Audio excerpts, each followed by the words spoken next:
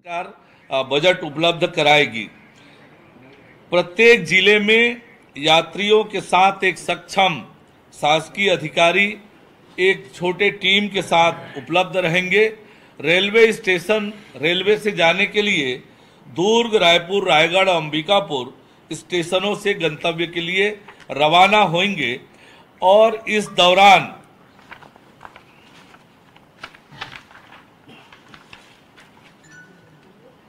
अयोध्या धाम जो है गंतव्य होगा, इसके साथ वाराणसी में एक दिन का रात्रि विश्राम, काशी विश्वनाथ मंदिर एवं कॉरिडोर तथा गंगा आरती का दर्शन का लाभ भी यात्रियों को मिल सकेगा। और इसकी तैयारी हमारी सरकार ने प्रारंभ कर दी है। दूसरा बड़ा निर्णय जो हमारी सरकार ने लिया है, राज्य के महाधिवक्ता के पद पर वरिष्ठ अधिवक्ता श्री प्रफुल्ल भारत की नियुक्ति का निर्णय किया है।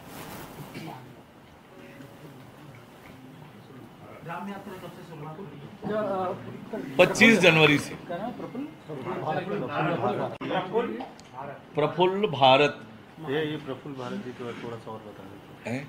उनके बारे में थोड़ा सा और बता दीजिए। वरिष्ठ अधिवक्ता हैं पहले अतिरिक्त महाधिवक्ता रह चुके हैं।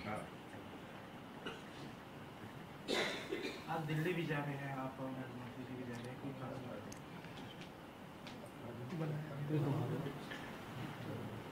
कल भारत मंडपम में स्वच्छ सर्वेक्षण का पुरस्कार वितरण है। हमारे प्रदेश को स्वच्छ सर्वेक्षण में प्रथम स्थान मिला है। और कुल मिलाकर छह इनाम हमारे राज्य को मिलने वाला है।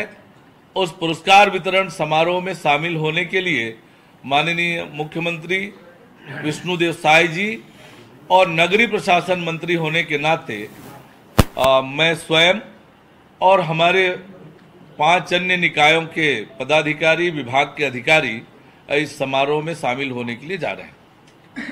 इसके अलावा और कोई अन्य फैसले? और कुछ। बस ये दो महत्वपूर्ण फैसले आज के कैबिनेट की बैठक में हुए। लोकसभा को लेकर के क्या हैं क्या तब तक? लोकसभा और धान को लेके काफ़ी धान खरीदी पे इकतीस सौ पिछला वाला था सरकार का चौथा के उसको लेकर कुछ बात नहीं देखिए कैबिनेट में वो विषय नहीं आया कैबिनेट का विषय है नहीं। आज कैबिनेट में दो विषय आया लेकिन फॉर्मली हमने बाकी अन्य विषयों पर भी चर्चा की है। ब्रिजमोहन अग्रवाल ने पत्र लिखा है छुट्टी के लिए माननीय मुख्यमंत्री जी उस पर विचार करेंगे। एक पॉलिटिकल सवाल है।